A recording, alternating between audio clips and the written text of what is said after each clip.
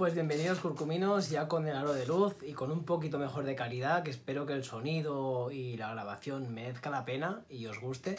Eh, vamos a empezar a hacer las preguntas que os pedí por las redes sociales, por Instagram y por Facebook y me machacasteis las preguntas, entonces voy a contestar todas las preguntas que me contesté ayer en las historias de Instagram, las voy a contestar por aquí, así yo creo que también pueden quedar almacenadas de alguna forma y quedar guardadas, ¿vale? O sea que empezamos con todas las preguntas y os intentaré contestar sin prisas, que en las historias siempre con prisas siempre se contesta un poco mal, contestas sin dejando poca información, entonces vamos a ello, ¿no? Primera pregunta de Fuen, empezando un ciclo de fecundación in vitro, vitro, ¿alguna recomendación alimentaria? Pues realmente yo lo que recomendaría sobre todo ácido fólico, aporte de omega 3, que es lo que va a ayudar a la formación del tubo neural, incluso de la predisposición a tener predisposición o facilidad para tener el embarazo y la calidad de ese embarazo, de que no haya ningún problema con el feto. Entonces, eh, lo que os digo, ácido fólico, el grupo de vitaminas B y omega 3 son básicos.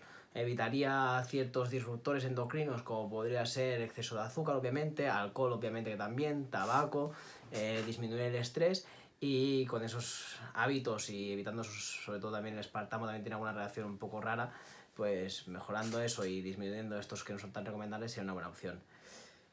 Para, de pregunta de Sandro6713. ¿Qué alergia tipo ácaro y que no sea de el IBI y antihistamínicos raros? Un abrazo, tío, ayudas mucho. Pues eh, antihistamínicos, lo más efectivo a día de hoy es la quercetina. Funciona como antihistamínico, como mm, disminuyendo la histamina de nuestro organismo. Eh, y esto también favorece a que no haya esos síntomas y evitamos la mayoría de antihistamínicos que hay de nueva generación que no dan ese adormecimiento, pero la mayoría de antihistamínicos dan ese adormecimiento, que es lo que una persona busca un antihistamínico, ¿no? Eh, entonces, la quercetina y una dieta baja en estamina, evitando pues fiambres, evitando el café también aumentaría, el chocolate, los legumbres, eh, lácteos, ¿vale? Entonces, si hacemos una alimentación y encima ayudamos con la quercetina, pues perfecto. Quercetina, 250-500 miligramos en ayunas, 250-500 miligramos antes de la merienda. Son los momentos donde más pico hay, ¿vale? Sobre todo que la estamina sube por la tarde. De Miri Castillo 6713, mira, justo el mismo número que el anterior. ¿Se puede tomar glutamina si tomo antihistamínicos? Muchas gracias. Se puede tomar glutamina con antihistamínicos. De potencia la, función de los antihistamínicos, no habría ningún problema. Eh, otra pregunta de Miri. ¿El aceite de lino es bueno? Una cuchara una cuchara al día para dermatitis. El aceite de lino es alto en omega, en omega 3 perdón, y omega 9. Los omega 3 y omega 9, sobre todo el omega 3, ayuda a que mejore la calidad de la mucosa y de las pieles. Con lo cual, si disminuimos el omega 6 y aumentamos el omega 3, siempre va a ir mejor para problemas de piel, e incluso se queda de ojos, etc. Entonces, y tanto, el lino es alto en omega 3, perfecto. En Raquel.llave, ¿qué ejercicios van bien para la flacidez abdominal? La flacidez abdominal, teníamos que hablar de qué tipo de flacidez abdominal. El ejercicio que más involucra el abdomen, según se ha visto en electromiografía, los estudios en últimos de, de entrenamiento, es la rueda abdominal, siempre que tenemos una buena técnica, rueda abdominal con el rodillo, o la tabla abdominal también, la activa suficientemente. Saba C0698, ¿qué opinas de los carragenatos? De los carragenatos yo no soy muy partidario, es un emulgente que se le da para aumentar el volumen del alimento, pero se ha visto que puede crear alguna úlcera estomacal. Se ha visto sobre todo con animales, aún hay estudios que lo corroboren con personas, pero a mí no me da muy buenas sensaciones y prefiero la agar-agar, prefiero la goma guar, que son totalmente inocuas. Elena MLVL, voy a un quiropráctico porque tengo escoliosis y recomienda dejar las máquinas. ¿Qué te parece? A ver, claro, eh, las máquinas, mejor el peso libre, para depende de qué personas, para personas mayores va a ir mejor siempre la máquina. Que no te especifique el porqué de dejar las máquinas a mí no me gusta mucho. Eh, si decimos algo, lo argumentamos y lo basamos en evidencia, ¿no? Entonces, no dudo que no sea una persona sin formación, es un quiropráctico, son muchos años de formación, pero claro, mm, puede decirte, las máquinas no, mejor esto, pero que no critique una cosa sin total alternativa, ¿no? Las máquinas son una muy buena manera de ejercitarse. Que mejor el peso libre, correcto. Que mejor otro tipo de entrenamiento, correcto. Pero no critiques algo sin dar una... ¿No? No sé. Sabia barra baja blanca, preentreno con tirosina puede afectar en caso de hipotiroidismo. A ver, eh, un preentreno con tirosina no lo encuentro mucho a lógica realmente, porque la tirosina también inhibe ciertos mecanismos que queremos activar con el ejercicio, con lo cual, eh, como neurotransmisor, no le encuentro mucha lógica a tirosina ahí. Hay otros momentos en los que le veo más lógica. Pero bueno, eh, no, no puede afectar al hipotiroidismo, ayuda a la función de la tiroides, no a la desfunción de la tiroides, con lo cual ayudaría a la tiroides, no, no a perjudicarla, sino a favorecerla, ¿no? Siempre que vaya con yodo para que se forme la tiroxina. Marcus.oo, maltodextrina para pre e intraentrenos en tiradas largas de ciclismo. Sí, la maltodextrina es un hidrato de carbono de pocos polímeros, eh, rápida absorción y alto índice glucémico, lo cual es un hidrato de carbono bastante recomendable. Si tuvieras problemas estomacales, sí que te recomendaría pasar a la amilopectina, que tiene una, un, un, vaciado gástrico y una osmolaridad gástrica mucho más cómoda para la digestión, pero si la maltodextrina te da bien, igual que glucosa, pues sin problema. Mm, veo una buena opción. Olgat.errico, ¿qué opinas de Woman Best? Pues no conozco Woman Best. Eh, déjame algún por aquí mismo o por Instagram alguna descripción y te lo da algún producto y lo analizamos, ¿vale? Pero no lo conozco. ¿Se puede tomar cúrcuma y Culgenix? Sí, es una combinación sin problema. Eh, se puede tomar las dos cosas sin problema. Esto lo pregunta Glorititi80. BCN barra baja Monamor. Acaba de traerme pedido de Procis Omega 3 EVA Plus, curcumin, Vita D y creatina. ¿Tomas al día? El omega 3 tendría que analizar el caso, pero te diría que tomaras por la noche según tu patología o según para lo que lo quieras tomar. La cúrcuma sí te recomendaría una, una cápsula mínimo en el desayuno y la creatina 5 gramos en ayunas todos los días. Torranoaerón, el AOVE, aceite de virgen esta, para que no lo sepa, el que se pocha la verdura, etcétera, hay que contarlo en los macros, claro. Si se pocha o se fríe, ese aceite se incorpora en el alimento, con lo cual, por ejemplo, unas croquetas un ejemplo no muy común, que supongo que no comen muchas croquetas, pero bueno. Eh, si nosotros rebozamos y freímos, ese aceite se incorpora al alimento, con lo cual eh, tendríamos que incorporarlo. ¿Cómo se puede hacer? Añadimos el aceite, lo pesamos, hemos añadido 15 mililitros supuestamente. Luego, después de, cocinarlo, volvemos a pesar el aceite restante. Quedan 10 gramos, quedan 10 mililitros. Los 5 mililitros restantes de los 15 a los 10 son los que incorporaré en la dieta, ¿no? Pero sí, sí que se ha de controlar y tanto. Isabel.ro 22 Tip para controlar la ansiedad por la salida. Por la salida. No entiendo lo de la salida. Tip para controlar la ansiedad. Hacer ingestas cada poco tiempo, cada tres horas, que es el único momento en el que se argumentaría un porqué de las pequeñas ingestas repartidas durante el día. Ayúdate de la canela, el cromo y el ácido alfa-lipoico. Son tres reguladores de índice glucémico. Si nosotros regulamos el índice glucémico, la carga glucémica, se va a evitar tanto la bajada como la subida de ese índice glucémico, con lo cual regularemos la glucemia, no estar baja la glucemia, no tenemos ansiedad por comer. También tema de técnicas de relajación, etcétera, pero con la alimentación es sobre todo eso. Incorporemos más, disminuyamos un poco los hidratos de carbono, sobre todo azúcares y índices glucémicos alto, añadamos proteína y grasa que ayudan a reducir el índice glucémico y ayudan a saciar incluso más, la, sobre todo la, la proteína, y busquemos hidratos de carbono integrales, ¿vale? que tienen un pico glucémico más bajo, con lo cual no va a dar esa ansiedad después. Inal 13. No puedo tomar suple de té verde por antibióticos de larga durada. ¿Qué me recomiendas para la retención? Supongo, es que como se cortan las preguntas. Para retención, pues si no puedes tomar té verde, eh, te voy a recomendar lo mismo. Si puedes tomar té verde, que si no puedas tomar té verde. Lo mismo, eh, aumenta tu aporte de hídrico, tu aporte de agua. El agua es lo que va a hacer que movilicemos toda nuestra retención y ayudemos a eliminar. En nuestro cuerpo está generado un tanto por ciento, sobre todo un 70, un 65% de agua. Nosotros ayudamos a hidratar y vamos movilizando esa agua, eso va a ayudar a la retención de líquidos, con lo cual disminuye tu aporte de sodio y aumenta tu aporte de agua y eso va a ayudar a tu retención de líquidos. Álvaro barra baja AFM, suelo, suelo, correr e ir al gym. Cuando debo, debo tomar la glutamina y creatina? Creatina siempre 5 gramos en ayunas, ahí no se moviliza por ningún momento. Y la glutamina te diría que tomas 5 gramos en el entreno más exhaustivo. En el que más rotura de fibras va a haber normalmente es en el de gimnasio, con lo cual después del gimnasio 5 gramos de glutamina. ¿Qué opinas de la herbensurina para los cálculos renales? Mm, feliz Navidad. Pues RMD, em, déjame el nombre exacto del componente y lo analizamos. No lo conozco, la verdad. Jessica López, Bitans, colágeno de Cinfa, más colágeno de Cinfa para el dolor de rodillas, ¿qué tal? No conozco el colágeno de, de Cinfa. Eh, mira si es hidrolizado. Si es hidrolizado, mira que sea animal, que no sea marino, vegetal. Ay, marino, perdón. Marino, no vegetal, marino que el marino no se absorbe, el hidrolizado marino no se absorbe, que es el normal y común y el más económico y que más se encuentra en todas las fórmulas. mira que sea animal. Si puede ser de máxima calidad tipo UC tipo 2, que es el de pollo, de esternón de pollo, perfecto, es el de mejor calidad que se ha visto en los estudios, sino que sea bovino, ¿vale? O porcino, de las gelatinas normal y corriente. Pero mira eso, porque una manera de engañarte, no, muy corriente es esa. Patricia Muino, Mana Foods, ¿cuánto tiempo aguanta la comida en la nevera? Pues yo lo tengo unos 7 días. Lo recibo sobre el viernes y sobre el viernes a la siguiente ya lo he acabado. También es verdad que cuando a lo mejor no hago una ingesta, cojo, lo congelo y aguanto perfectamente hasta un año congelado. O. ¿Qué recomiendas para hernia de hiato? Saludos. Principalmente el problema de la hernia de hiato es esa acidez que nos puede dar, ese reflujo nos puede dar y ahí la ayuda principal va a ser la glutamina y el jengibre. Te diría más, la glutamina de 5 a 10 gramos en ayunas para mejorar esa mucosa intestinal, esa acidez que, nos, nos, da la, la hernia de hiato y el jengibre también para esa acidez. Luego, para mejorar, probióticos también se ha visto bien, pero ya te digo, generalizaría con glutamina como primero, jengibre como segundo y aloe vera también como chupito para ayudar a la regeneración de la mucosa como tercero. Juan Nondo, ¿cómo vas? Pues muy bien, muchas gracias. Aquí estamos, a tope.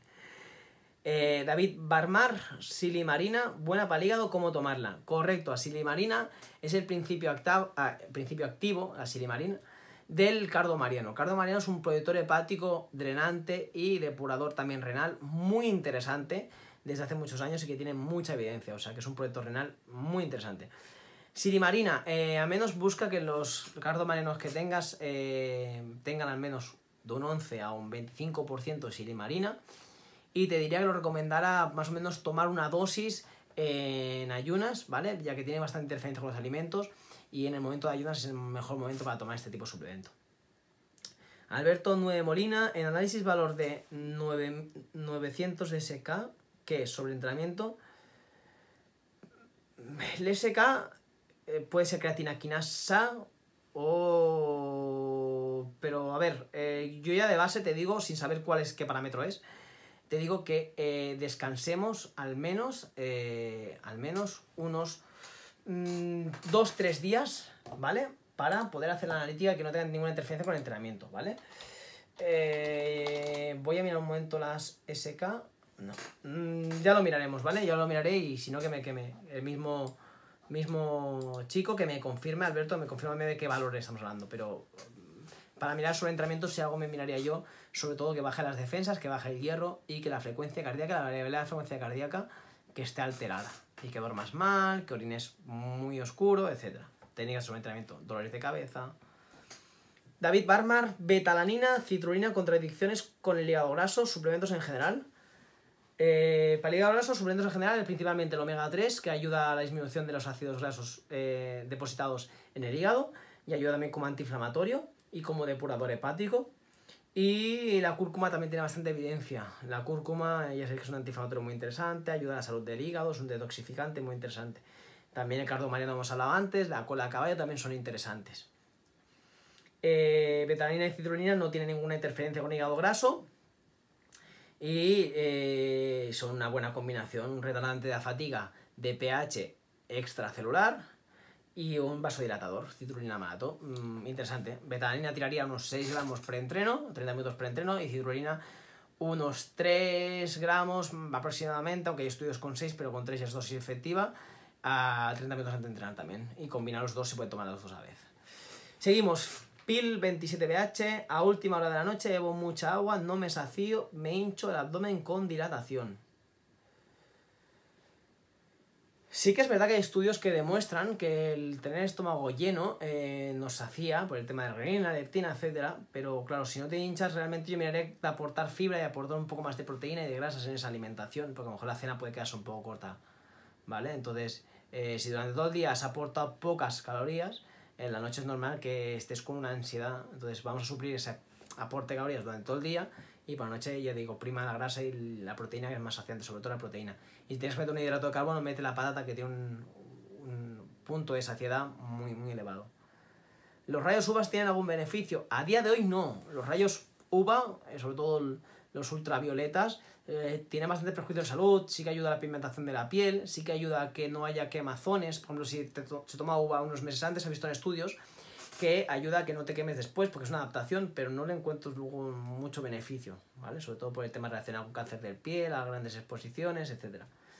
Eh, Rook, Tomo a- tomar Alainac junto con antioxidantes o solo ala. Tendríamos que ver las dosis que estás tomando. Estás tomando Dala no más de 500 miligramos y de NAC me- menos de 250 miligramos, se podría combinar. Si tomas una dosis elevada de cualquiera uno de ellos, sí que preferiría tomar uno o tomar otro, ¿no? Eh, son buenos antioxidantes hepáticos, muy buenos antioxidantes y interesantes. Sobre todo también el NAC para como expectorante del moco, ¿no? Cuando estamos con gripe. Un buen precursor para colágeno, pues un buen precursor para colágeno, Markikis 82, es glicina, que es uno de los ingredientes que lleva el colágeno, que luego se desgragan en el, en el cuerpo y luego se vuelven a formar. Y con la vitamina C. La vitamina C potencia la absorción de la glicina. La glicina es uno de los aminoácidos azufrados que tienen que ver con el colágeno y que es más deficiente en nuestro organismo. Se puede curar la gastritis crónica, me iría bien la glutamina, selele- seleyeles. La gastritis crónica, eh, hay una de- des- un desgaste de la mucosa intestinal. Es difícil regenerarlo, pero una vez regenerada esa mucosa, sí que se puede llegar a tenerlo casi, casi, casi solucionado. El problema vendría cuando eh, esa gastritis hay un daño ya. Entonces, sí que podríamos quitar los síntomas, curar esos síntomas, pero sabemos que tenemos esa predisposición a tener esa gastritis. Pero esos síntomas y esos problem- esa problemática de la, de la gastritis sí que podemos solucionarlo. Maridapsan, ¿a es mejor? Tomar el colágeno. Por cierto, me encantas. Muchas gracias por el me encantas. Y el colágeno realmente se tendría que tomar fuera de las comidas, que tiene interferencia con los otros aminoácidos, aminoácidos azufrados, ¿no? Pueden tener interferencia unos con otros. Entonces te diría que lo tomaras en ayunas o antes de la merienda, pero al menos 10-15 minutos antes de las comidas, para que no tenga interferencia. Eh, Nicole, Nicole Yadei, ansiedad, estrés, nervios, cuesta dormir, ¿me aconsejas? Ansiedad estrés, nervios y cuesta dormir, te diría más que la melatonina que me lo pones aquí mismo, melatonina ya tomas, eh, la ashwagandha. La de unos 500 a unos 800, incluso 900 o 1000 miligramos es una dosis bastante alta de ashwagandha. Es el suplemento adaptógeno que más ha demostrado disminuir niveles de ansiedad y niveles de estrés. O sea que vamos a lo seguro, ashwagandha. Y tomaban ayunas. Eh, la misma chica me pregunta hipotiroidismo, ¿qué es mejor aumentar grasas y bajar los carbos o, carbos o al revés? Mm, En el hipotiroidismo yo los hidratos de carbono no los saco. Los hidratos de carbono ayudan a la función tiroidea, con lo cual retirarlos... mm, En la mujer normalmente doy más grasas que hidratos, pero eh, en el hipotiroidismo no quitaría los hidratos de carbono. Mm, Las grasas son importantes, fuente omega 3, pero a los hidratos de carbono le doy importancia. Lluvia azul. Las papillas de cereales sin gluten y sin lactosa son buenas para deportistas. Sí, es buena opción. Suelen ser de maíz y arroz y es buena opción, sí. La misma pregunta, ¿las verduras son más recomendables? ¿Qué verduras son más recomendables en Food Maps? Pues sobre todo quitar las legumbres, judía verde y tal, el brócoli también quitarlo, la endivia sí que es una buena opción, eh, las coliflores también hay que quitarlas. Realmente te vendría a decir que, que lo miraras con un profesional, porque hay diferentes tipos de food maps, hay más permisibles, menos permisibles, igual que por ejemplo el naranja, el pomelo, son opciones que sí que se pueden valer, hay en otras personas que no le valen. Entonces, eh, depende del nivel de food maps, pero hay, por ejemplo, la colchina creo que es, la endivia, el chapcoy, eh, bastantes opciones, no tan comunes, pero que pueden funcionar, ¿no? Las espinacas, por ejemplo, también, acelgas también. ¿Vale? Eh, arroz vaporizado, pregunta la misma persona, ¿arroz vaporizado mejor? Bueno, vaporizado, basmati, integral, son opciones buenas. El pan enfriado en nevera tiene almidón resistente, depende del cereal. Eh, si es avena, sí. Si es de trigo, no. Eh, tiene que ser avena o tiene que ser un cereal que, que pueda, que, que sea, que, bueno, que tenga almidón, ¿no? El más común es la avena, como os decía. Han cambiado la composición de los tallarimis mercadona sin glutamato. Pues pásamelo, pásame la tabla por, por internet y lo analizo, ¿vale? Porque no te sabría decir sin... A lo mejor tiene glutamato, pero tiene mucha más basura. Eh, PIL 27H. eh, Vale, me pregunta la misma pregunta que antes, o sea que ya está. Lorena Olivares, hola, llevo sintiéndome cansado un montón de meses y los análisis están bien. ¿Algún suplemento? Vale, tendría que ver los niveles, de, los niveles que hay en la, la analítica, porque puede ser que te dé bien, pero que estén en los límites bajos, con lo cual tenemos que verlo. Te diría que principalmente analices en la analítica la vitamina D. La vitamina D tiene mucho, mucha relación con el tema de estado de ánimo, estado de energía, entonces lo miraría sobre todo eso. Eh, luego aparte, pues obviamente miraría que la alimentación estuviera correcta y como mucho daría un o adaptógenos, hay un nivel de estrés elevado o, eh, o te notas muy estresada o un multivitamínico, ¿vale? ¿Tú cuántas veces comes fuera? ¿Es bueno comer tanto fuera de casa en restaurantes? Yo no me harían 509. Todo depende. Yo, por ejemplo, hago una comida, más o menos, semana que voy ajetreado, dos comidas eh, insanas, por así decirlo. También es verdad que ha aumentado mucho mi nivel de, de, actividad y me voy pesando, me voy controlando. Entonces habrá meses en los que no eh, recomiende o no me haga más tantas comidas fuera, pero todo depende de cada persona. Yo en mi caso siempre lo hago una, siempre. Eh, pero hay veces que hago dos o hay veces que no hago ninguna. Y que las hago las dos veces que hago fuera, hago sano. Con, eso quiero decir, hay opciones sanas, por suerte, la mayoría en la mayoría de ciudades, obviamente yo digo Barcelona y Madrid, Bilbao y Sevilla, que son los sitios que conozco. Sitios sanos y sitios insanos. Entonces tú puedes elegir si comes una vez mal o comes todas bien, entonces depende de cuánta vez. Pero comer fuera sano se puede comer. ¿Qué, ¿Crees que era una dieta keto más saludable? Eh, más saludable depende de lo que comparemos con más saludable. entonces, em, que sea más saludable de base, mm, hay una alimentación sana que no necesita ser cetogénica. Mm, es una opción viable para, por ejemplo, para mujeres y personas con problemas menstruales y personas con problemas tiroideos. No lo recomendaría yo, personalmente. No hay mucha evidencia que lo vale, o sea, que, que no lo recomendaría, teniendo en cuenta la evidencia. Eh, por ejemplo, para personas con, con hiperactividad, con Alzheimer, con Parkinson, sí que recomendaría una dieta más keto pero más saludable que una dieta saludable general variada, pues no te sabría decir realmente. El hidrato de carbono, a lo mejor no, estamos haciendo un uso excesivo y de mala calidad, pero un hidrato de carbono bien tomado, mm, yo creo que tiene muchos, muchas, muchos beneficios. Pero bueno, en mi opinión, ¿eh? eh esto pregunta de STNV1. Irenems90, ¿cuándo es mejor tomar glutamina y si es para tema digestivo? 5 gramos en ayunas, es que eso es inamovible, ¿vale? Eh, Lluvia Azul pregunta, ¿hay algún suplemento bueno para acné comedogénico? Eh, para el acné, sobre todo, lo que se ha visto beneficioso es el zinc, los probióticos y el omega 3. ¿Vale? Eh, añadir copos de avena a las sopas de verdura en lugar de fideos, es buena opción, muy buena opción. Quitas el trigo, añades la avena, perfecto. Para personas con problemas digestivos y digestiones muy lentas, ¿cuál es la mejor proteína? El huevo. Siempre que toleres bien, la proteína de huevo se tolera muy bien y tiene muy buena asimilación. Y Bertarik No, eh, Bertarik No, creatina post-entreno o en ayunas. En los dos momentos estamos en ayunas, porque post-entreno también estamos en ayunas, pero te recomendaría que lo tomes en ayunas, porque así no te vas a olvidar, porque si no, los días que no entrenes te olvidarás de tomarla. Y aparte, por la mañana también ayuda al pH estomacal, con lo cual, dos cosas que ganamos, ¿no? Paula BVP89, embarazada, ¿se pueden tomar comprimidos de cúrcuma para dolor de ciática y espalda? Sí, pero no pases los 500 miligramos de curcumina, que tiene un efecto vasodilatador y no sería muy recomendable. Barrios JMBG, ¿qué me comentas, qué me comentas sobre la espirulina para volumen? Pues la aspirina, la espirulina para volumen a mí no me apasionan. Las algas eh, tienen un exceso de, eh, bueno, es un quelante natural del mar de metales pesados y de minerales pesados. Y se ha visto que tiene mucha cantidad de metales pesados como son plomo, cadmio. Entonces no soy un apasionado de, los, de, las de las algas. Y aparte la espirulina es una falsa vitamina B12, con lo cual falsean analítica vitamina B12. No me apasiona, no me apasiona. Se ha dado mucho bombo, pero innecesario. Sandrita 4515, ¿qué suplemento puedo tomar para la fatiga muscular? Aumenta tu aporte de proteína en la dieta y si no, pues aporte, añade tu, tu aporte de creatina. La creatina es un buen suplemento para ello y la proteína mejor en polvo es una buena opción si no te recuperas bien y tienes fatiga.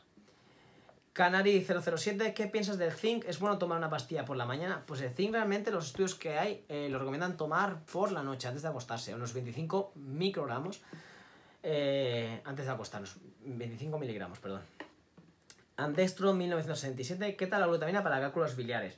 Para cálculos biliares te recomendaría sobre todo la, eh, el magnesio, que ayuda a la expulsión y a, que se deshaga la las piedras, ¿no? las, los cálculos biliares y también los cálculos renales. Y obviamente disminuir el aporte de, de grasas porque te van a sentar mal, em, sobre todo grasas omega 3, evita los otros tipos de grasas. Eh, lácteos tampoco es que sean muy recomendados en eso y evita el tema de oxalatos cálcicos, que son alimentos que suelen crear esos cálculos. ¿no? LG Vega 83, glutamina para intestino, péptidos o micronizada, Kiowa o sin nombre. Una buena marca, pues si es Kiowa o Hinomoto, perfecto, son dos buenas calidades. Si no, busca una marca que tenga un análisis de metales pesados. Y yo prefiero micronizada. Micronizada o monohidrato pero micronizada perfecto por el triturado que hay, más que peptido que es muy cara y, y no, no le veo suficiente ventaja para pagar esa diferencia de precio, ¿no?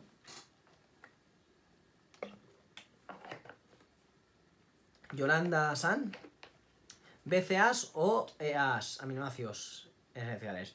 Después de hacer un entreno por la mañana fuera y, y carrera por la tarde. Pues te diré como es mujer, la asimilación que vas a tener va a ser más recomendable con aminoácidos, ¿vale? Esenciales, o sea, los EAs.